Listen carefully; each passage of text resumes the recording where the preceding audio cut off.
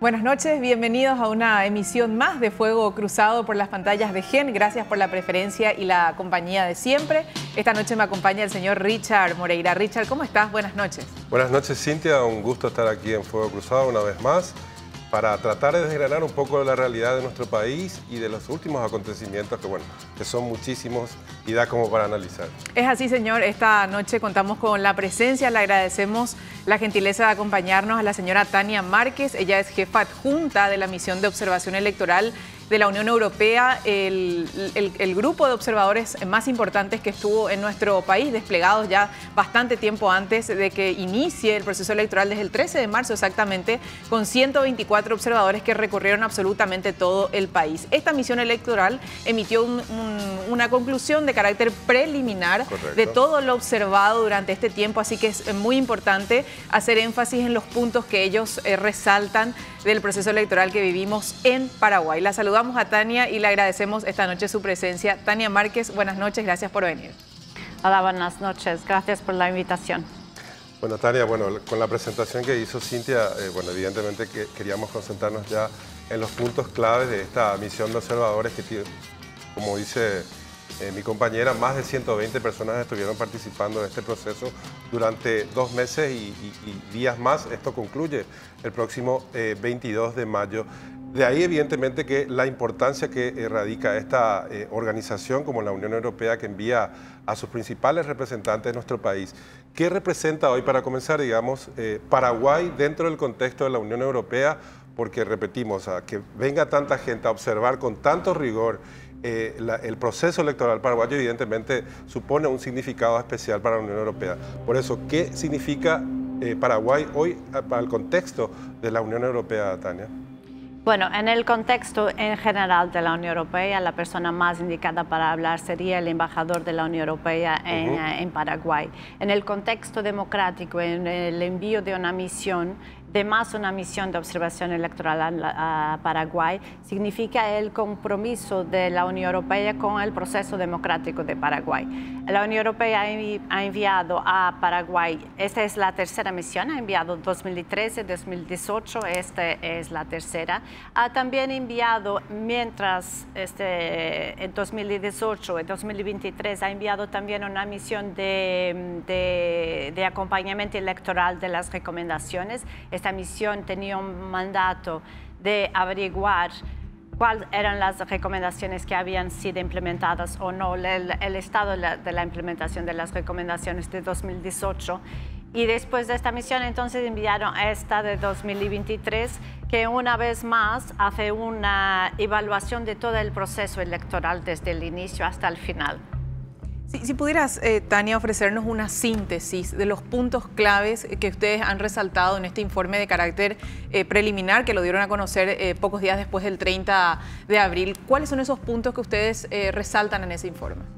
En esta declaración preliminar que hemos publicado el 4 de mayo, hacemos un análisis preliminar más sucinta de, desde el inicio del proceso, desde el eh, eh, registro, electoral, el padrón electoral, de la campaña electoral, la administración, la conformación de la administración electoral, todo esto.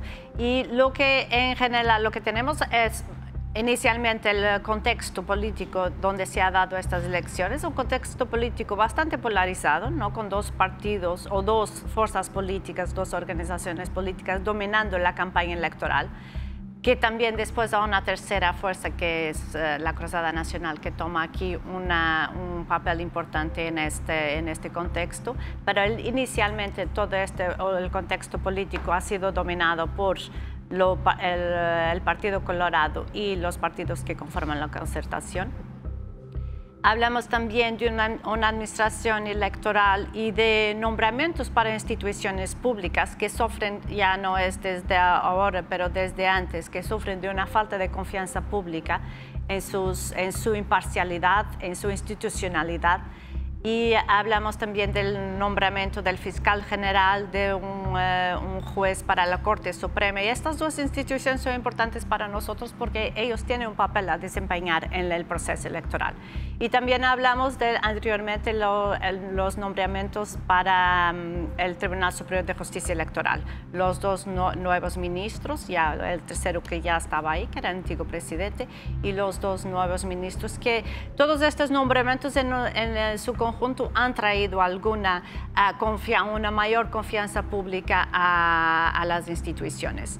Y todo el demás, la, performance, la, el desempeño de la administración electoral y cómo ha desarrollado, por ejemplo, todos los preparativos para las elecciones con una, una presencia de los, de los, apoderados de los partidos políticos, una presencia permanente de los apoderados en todo el proceso, hasta desde el eh, nivel nacional hasta el nivel de, mesas de votación, pasando por los eh, tribunales electorales los juzgados electorales, después juntas cívicas.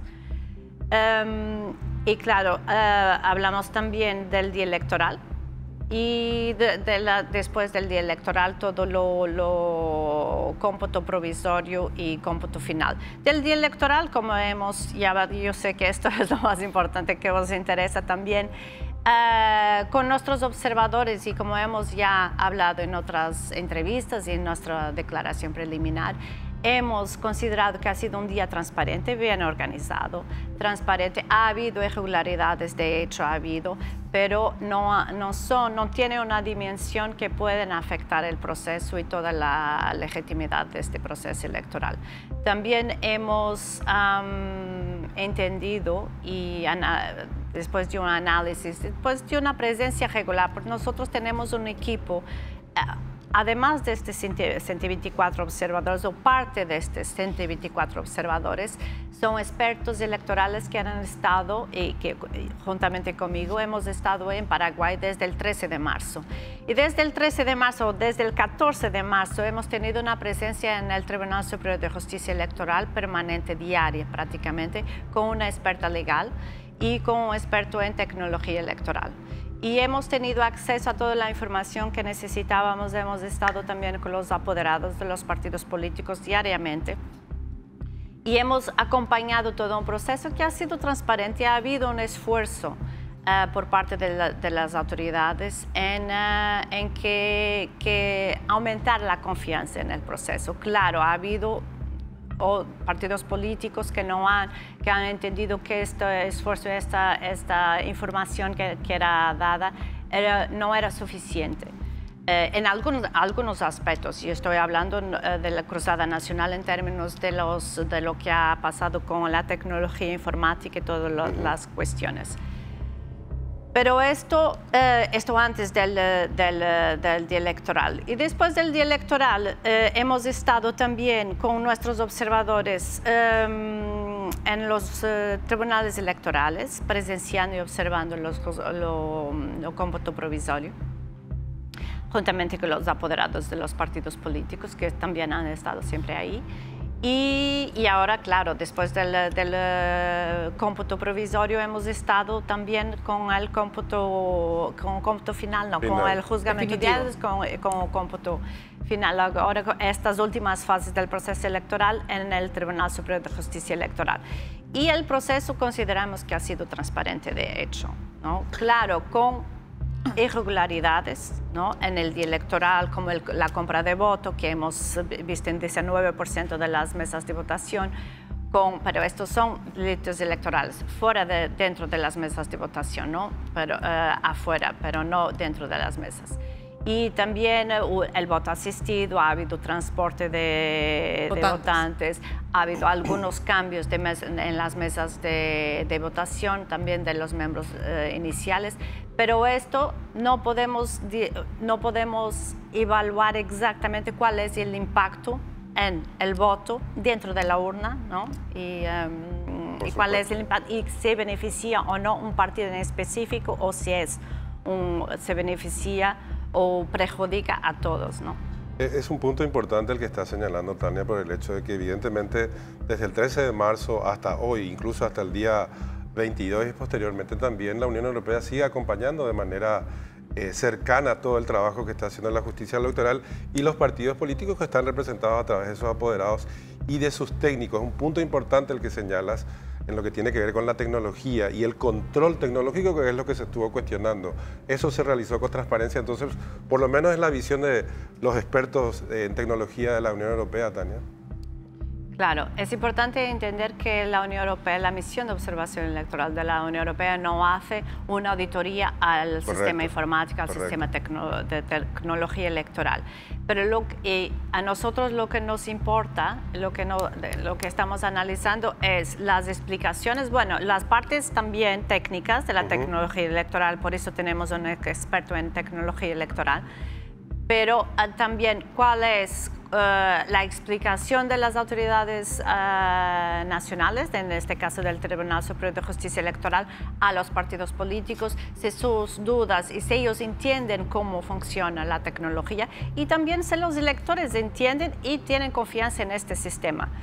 Eh, lo que hemos visto es que, es que sí, en general sí, aparte de, y me gustaría de subrayar que Cruzada Nacional ha, siempre ha tenido esta posición de tener más dudas, lo que ha mejorado mucho el proceso electoral también en términos de, en términos de transparencia, porque al eh, plantear las dudas, también estaba aclarando para todos, ¿no? Ya ha habido más reuniones do que lo que estaba previsto por el Tribunal Superior de Justicia Electoral en explicar exactamente cuál a todos y aclarar estas dudas. Por eso entendemos como misión, entendemos que estas dudas, todos estos planteamientos que claro, han retrasado algunos días el proceso interno, lo, lo que era el, eh, previsto inicialmente, ha también traído una, una, transparencia y en esto yo pienso que tenemos que estar gratos a, Cruzada Nacional por tener eh, eh, desempeñado este, este rol en el proceso. Pero sí, entendemos que la tecnología utilizada en general sí que estaban los partidos y las personas confiaban, aunque después de las elecciones el ambiente ha cambiado un poco.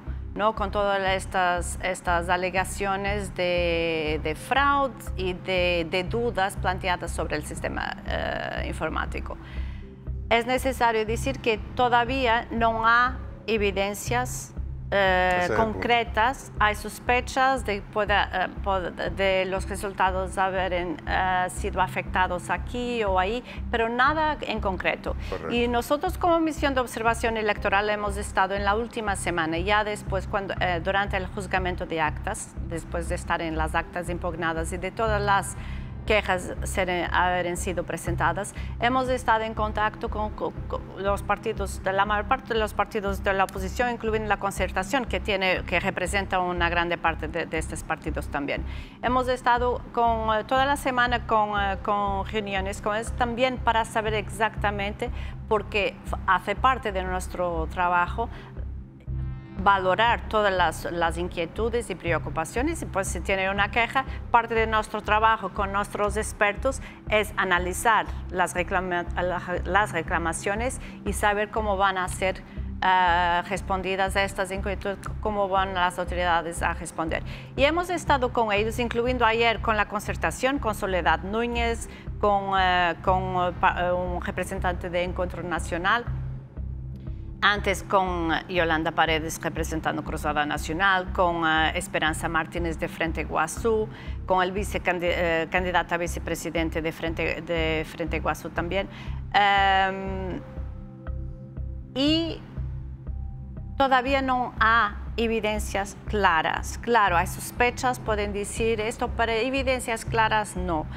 También las actas que han sido impugnadas, las mesas que han sido impugnadas, han sido impugnadas por eh, otros motivos que no es el sistema informático. Fraude, son incidentes. No, claro. Entonces nos quedamos, claro que damos, ah, que, que, valoramos todo que nos pero también es necesario para pedir, para alegar fraude, es necesario tener pruebas más concretas. Correcto. Tania, esto que mencionas sobre las pruebas me parece que es el punto clave sobre las reclamaciones que se suscitaron en las últimas semanas. ¿verdad? Como obviamente ustedes saben, eh, post elecciones se soportó un escenario en donde se puso en duda la legitimidad de nuestro proceso electoral, se puso en duda la, la legitimidad de las autoridades electas el 30 de abril y se plantearon cuestionamientos, pero hasta ahora sin, eh, sin el hecho de adjuntar pruebas concretas, así como claramente Eh, hay un pedido muy concreto que incluso hoy eh, llega a manos de la Corte Suprema de Justicia, la Sala Constitucional de la Corte Suprema de Justicia, que es la solicitud que hacen algunos apoderados de la Concertación Nacional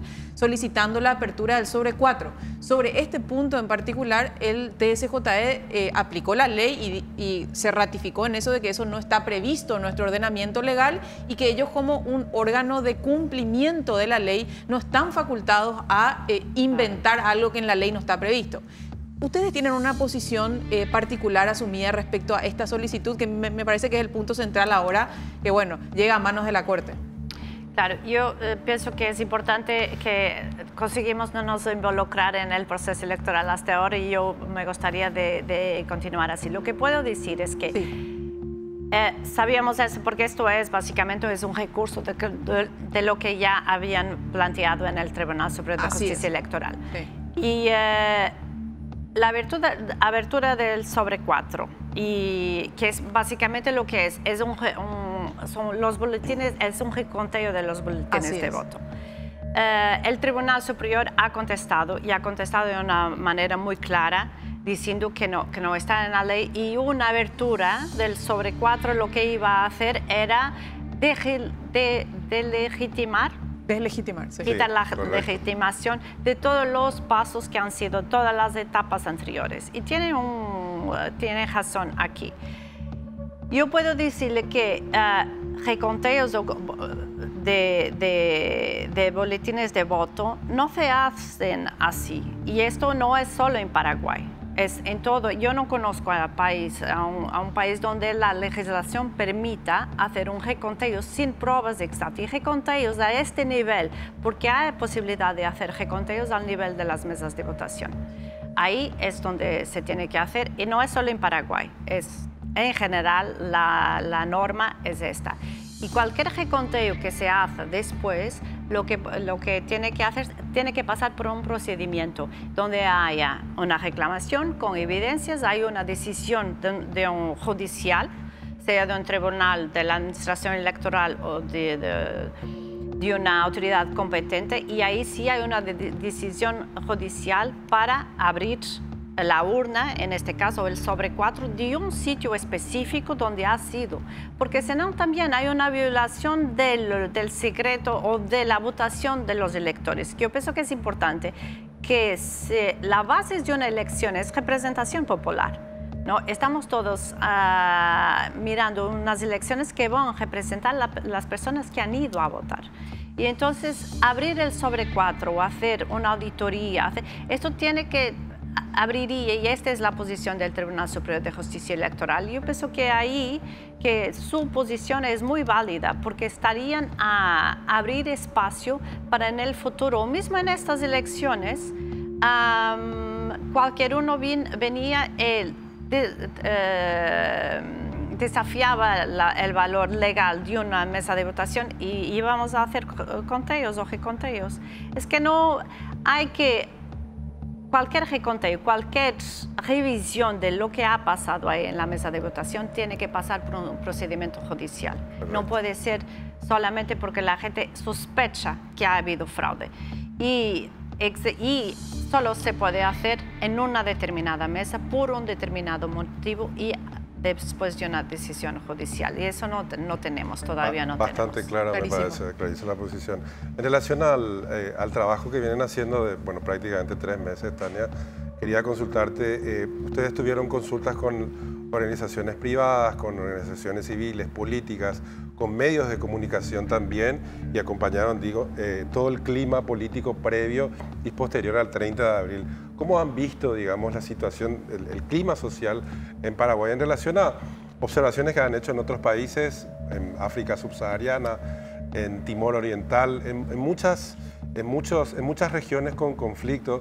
América Latina no se caracteriza por eso, aunque hay cierta inestabilidad últimamente en algunos países andinos sobre todo, y por ejemplo en Argentina. Pero ¿cómo han visto eh, globalmente, digamos, la situación político y social eh, después de estas conversaciones que han tenido con, políticos, con empresarios, con medios de comunicación, así que sería importante un poco también conocer cómo, eh, pudieron acompañar ese, desarrollo de los últimos tres meses en nuestro país, Tania.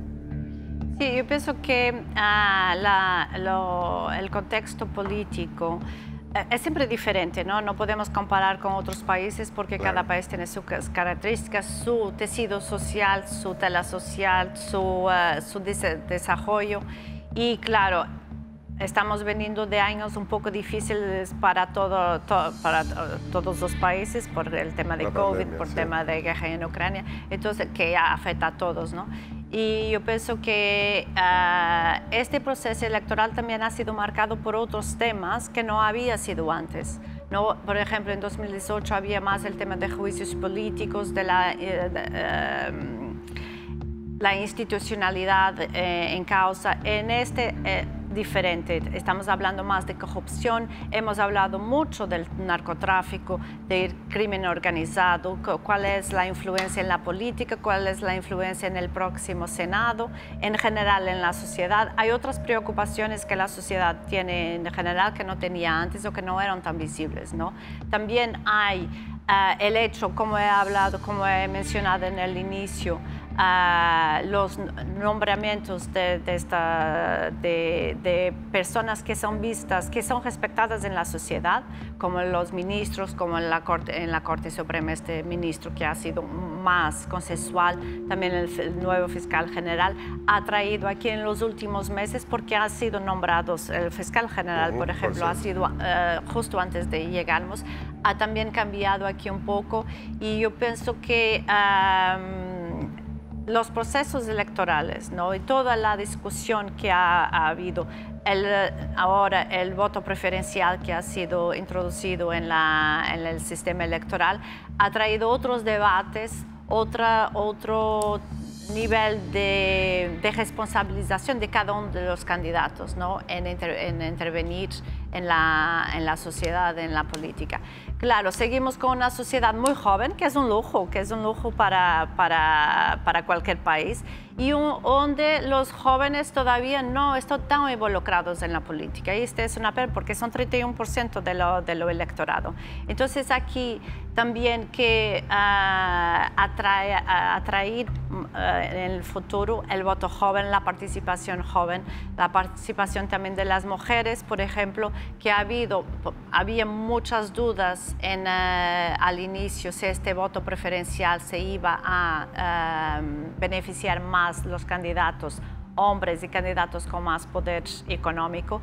Y lo que es cierto es que parece, no tenemos todavía los resultados oficiales, pero hay más mujeres eh, elegidas. Y también más mujeres que no son figuras representativas, no, están ahí por, por ser en, ah, familiares o cuando ah, en países en que vemos una participación de las mujeres en ese sentido. Y aquí no, porque tenemos candidatas y las candidatas que han sido elegidas son candidatas muy vocales, con personalidades muy fuertes. Yo pienso que esto es un lujo también para Paraguay, tener una, aunque sean de diferentes partidos y ni siempre están en la misma línea, yo pienso que este grupo de mujeres que ha sido elegida, em, que se, se, se une, se encuentra un espacio para trabajar en, en conjunto, yo pienso que pueden lograr mucho en Paraguay.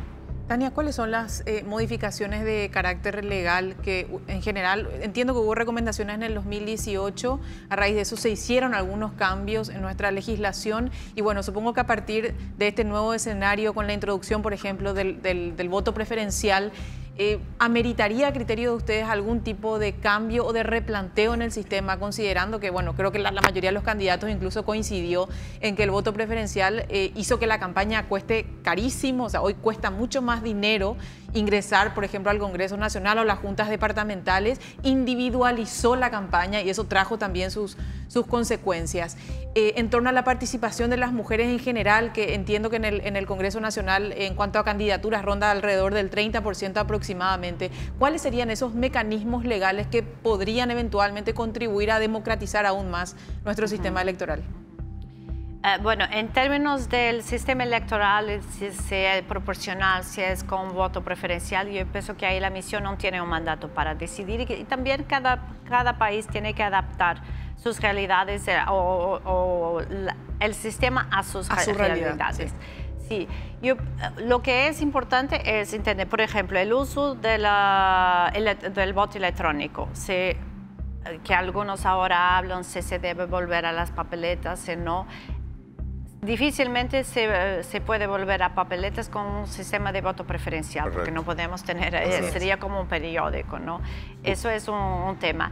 Eh, hay también que yo pienso que es temprano para decidir ahora hacer un análisis de las consecuencias del voto preferencial. Pienso que primero tenemos que tener, los resultados oficiales y ahí sí, ver cómo han hecho estos eh, candidatos que han sido elegidos, cómo han hecho su campaña electoral, cómo han desempeñado, por qué han sido elegidos. Yo pienso que hay un estudio a hacer eh, antes de, dar una opinión. Ahora, en términos de legislación electoral y ya lo que veníamos observando desde 2018 es exactamente, y yo pienso que una de las primeras es esto, hay un código electoral en Paraguay, pero un código electoral que sigue siendo revisto y, eh, y ah, en paralelo al código electoral hay también leyes electorales, leyes que eh, es gracioso porque son leyes que se aplican o que revisan disposiciones del código electoral, pero que en sí también contienen eh, disposiciones que se aplican aparte del código electoral. Entonces lo que tenemos es a veces una legislación o un marco legal muy complejo y que ni siempre está de acuerdo, lo, sus disposiciones a veces tienen inconsistencias, incongruencias. Por ejemplo, ahora tenemos el caso de, la, mm, de, la, de esta acción de inconstitucionalidad en la Corte Suprema. El plazo para plantear una acción de constitucionalidad, en el, según el Código Electoral, es cinco días, pero en, la Corte Suprema es de nueve días. Entonces, aquí una de las recomendaciones que hemos hecho en 2018 y que seguimos haciendo ahora es exactamente que se eh, revise y que se ponga en un instrumento legal solo, eh, único todas estas disposiciones legales. Eh, a propósito, eh, Tania, bueno, creo que va a ser la última pregunta y agradeciéndote el tiempo, quiero agradecer doblemente, por, no solamente por la presencia, sino porque en un momento difícil para este medio de comunicación, la Unión Europea fue probablemente una de las primeras, Sí, eh, clave en el sentido de llamar y convocar, por ejemplo, a integrantes de nuestro medio a saber qué es lo que había ocurrido con ese intento de censura. Así que, por supuesto, agradecemos a la Unión Europea en tu nombre, Tania, por supuesto, y al resto de los observadores esa gentileza y esa atención que tuvieron con nosotros.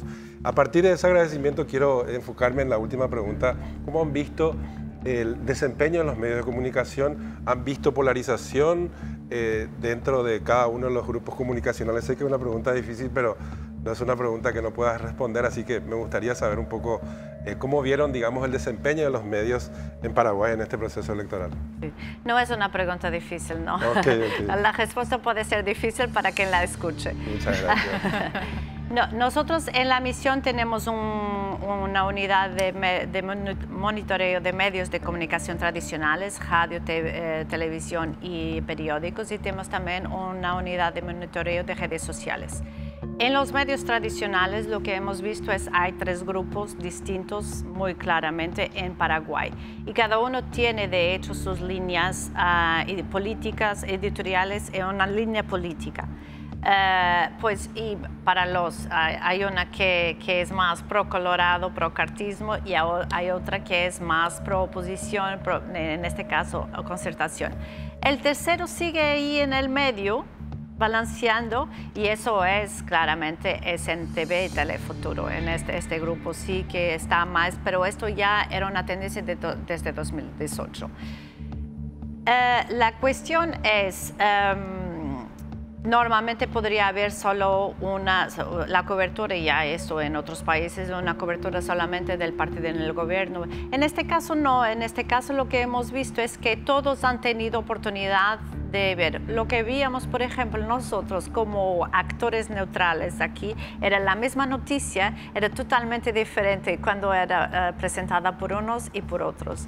¿no? Yo pienso que es, eh, es una cuestión, también he hablado con periodistas eh, que trabajan con, en los dos medios, los dos más extremados, y lo que dicen es que ellos propios son imparciales y intentan hacer su trabajo neutral. Claro, son después las líneas editoriales, pero yo pienso que esto es claro.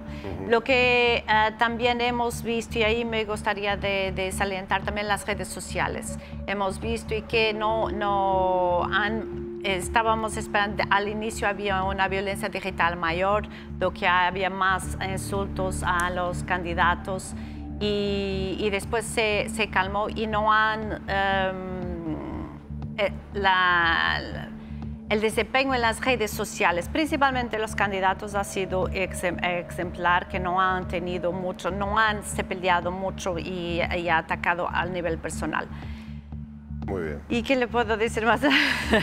no, Tania, agradecerte mucho el tiempo, por sobre todo la, la, compañía esta noche con nosotros aquí en Fuego Cruzado. Creo que el papel que ha desempeñado esta misión electoral en nuestro país ha sido de fundamental importancia, por, eh, por sobre todo por el respaldo que significa que una misión así haya observado y en los términos que claramente explicaste el proceso de transparencia que hubo. Obvio que tenemos falencias, tal vez cuestiones que mejorar o cambiar en el futuro, pero sin lugar a dudas eh, los paraguayos podemos sentirnos orgullosos de que en cada elección tenemos una fiesta cívica en Paraguay. Gracias, Tania, por, por tu tiempo y por venir.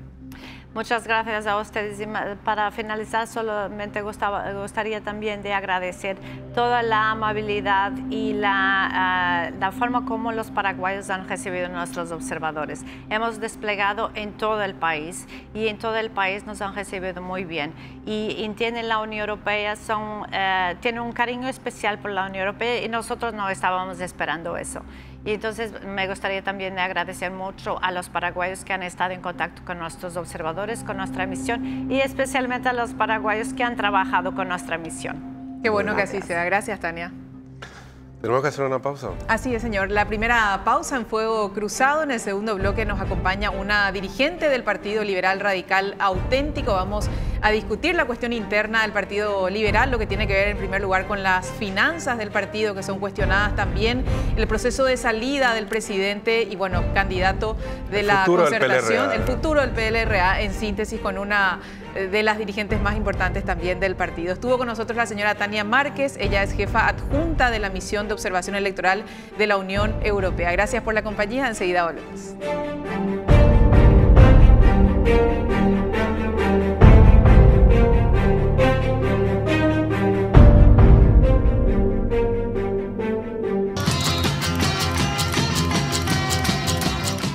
Segundo bloque de Fuego Cruzado, estamos de vuelta. Estamos con la dirigente liberal Basilisa Vázquez. ¿Cómo te va, Basilisa? Buenas noches. Gracias por estar con nosotros. Buenas noches para ustedes también. Doctora, queremos eh, abordar contigo un poco la situación en términos generales para arrancar. ¿Cómo describirías este proceso que está viviendo el Partido Liberal en estos momentos, bueno, post elecciones, y cuáles te parecen que son las mejores alternativas en estos momentos?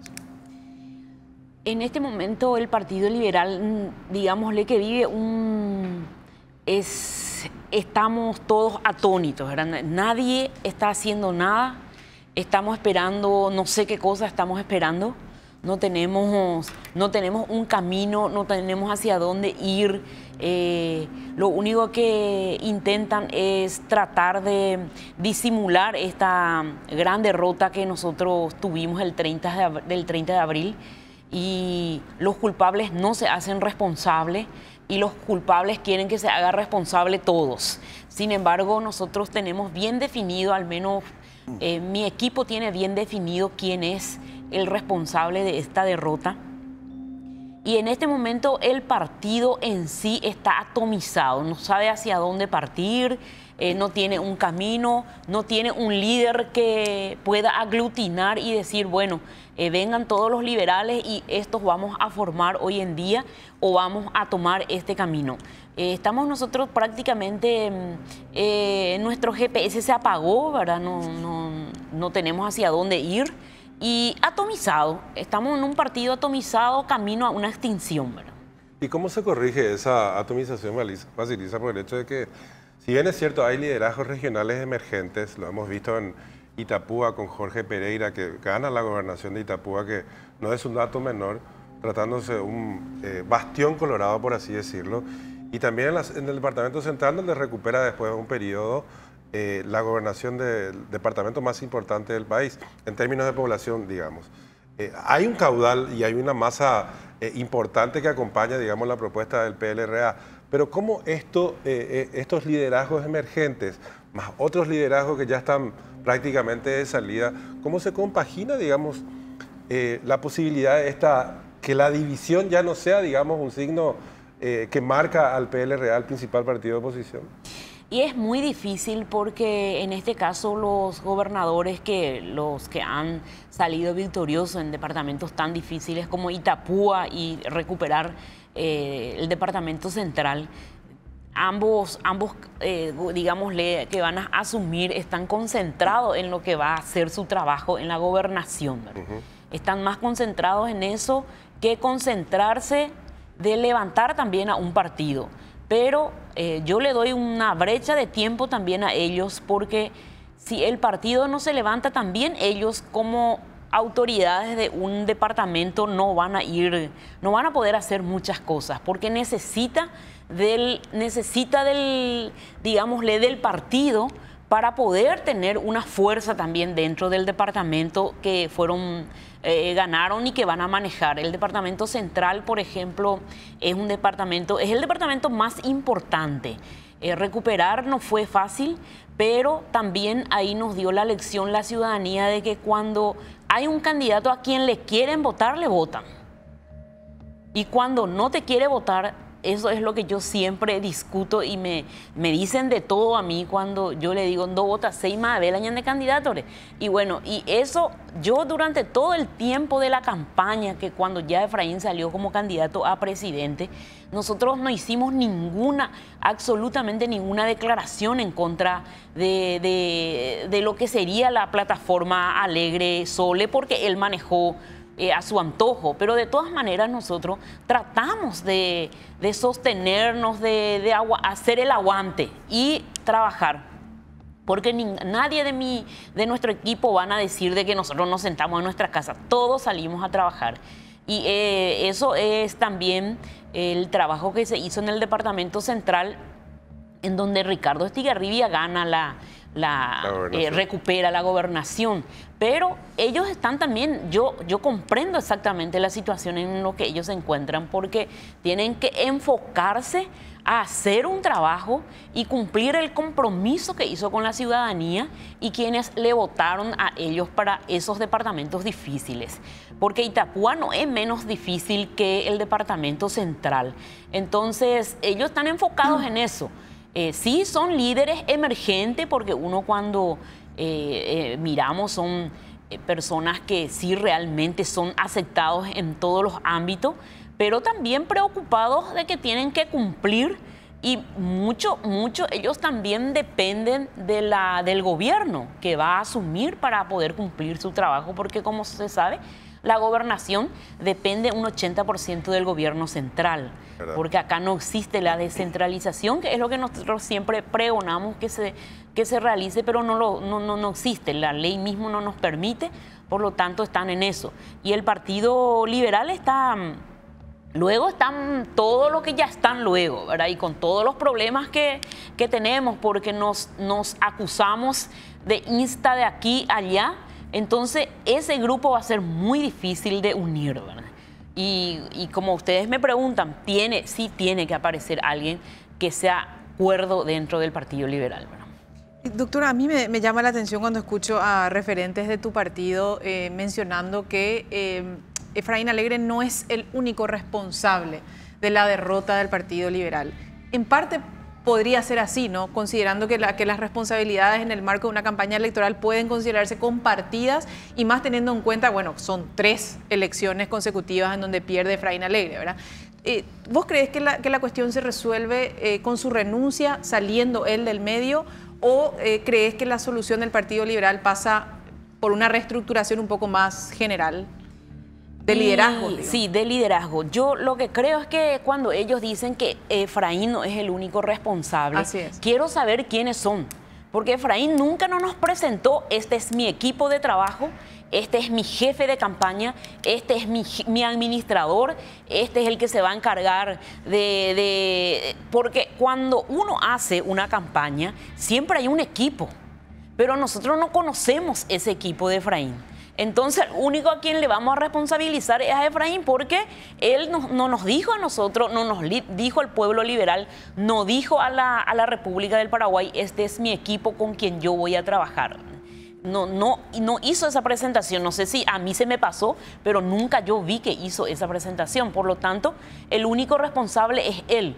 El Partido Liberal sí es cierto en gran medida cuando si Efraín renuncia eh, que yo le veo muy difícil eh, por unas cuestiones que siempre manejo yo de que el tema, ya, ya no, porque nosotros, el, Efraín está muerto política, electoralmente y financieramente.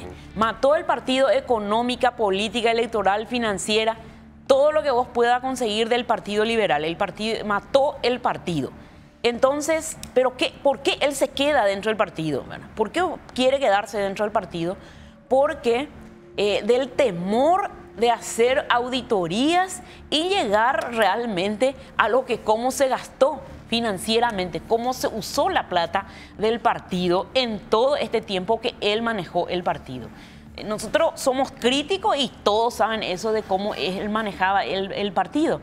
Sin embargo, yo lo único que creo es que él no quiere dejar el, partido por eso, porque si se viene una auditoría en serio, ahí vamos a saber dónde está la plata del partido, cómo se utilizó, porque el partido recibe plata, pero no sabemos cómo se usó. Y él manejó como el almacén de su casa. Entonces, él, más bien él está preocupado por eso.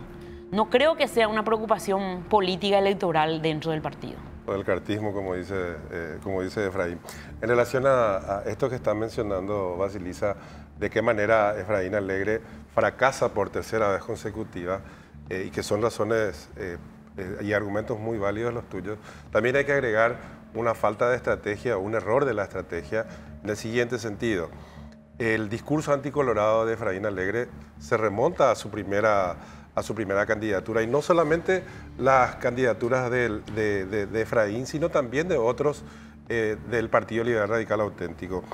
Eh, insistir, digamos, con, esta, con este discurso anticolorado y últimamente eh, contra el, cartismo, evidentemente no le funciona ni al PLRA ni a la oposición, porque lo hemos visto también, no solamente en estas elecciones del 30 de abril, sino también en las municipales, donde el retroceso de la oposición y principalmente del PLRA se vio reflejado tanto en, municipios y en concejalías de los distintos eh, municipios del país. Eso también, Basilisa, hay que cambiar dentro del PLRA. No es el, Partido Colorado el enemigo. ¿Es así por lo menos que lo ven ustedes en la disidencia? Así mismo, yo lo veo de esa misma manera. Porque cuando uno nosotros somos dirigentes que visitamos a los, a los, a los correligionarios, a los afiliados, a los no afiliados, y no, les preguntábamos, y lo mismo nos decían eso, ¿verdad? Y la mayoría de la gente decía que tenía un temor de Efraín. No, nosotros no podemos votarle a este, al candidato de ustedes. Y nos decían su temor del por qué ellos no querían votar. Porque él, tenemos que reconocer que el paraguayo tiene absolutamente miedo de una persona que quiere, pretende el cambio, pero no es el cambio. Eh, porque Efraín es eso, ¿verdad? Nosotros queríamos vender el cambio a través de la figura de Efraín, pero no podíamos porque todos sabían quién era Efraín, ¿verdad? Cómo se manejaba. Y el ataque entre el, proyecto este de la ANR nunca más ya no funcionó en las municipales. En las municipales nosotros perdimos de 97 municipios que teníamos, fuimos bajando. Ahora tenemos 66 municipios nada más. Y eso ya, la pauta, o tu aunque sea, si vos no tenés poca inteligencia, ya te dice de que eso no es el camino que teníamos que tomar. No podíamos ir atacándole a la ANR, no, ya no podíamos ir atacando porque el cartista. Entonces ahí vinimos, nos atomizamos y eso de nuevo algunos quieren implementar. Él mismo dijo de que no le va a entregar el partido al cartismo. No, él no le entregó el partido al cartismo, él le entregó el país al cartismo.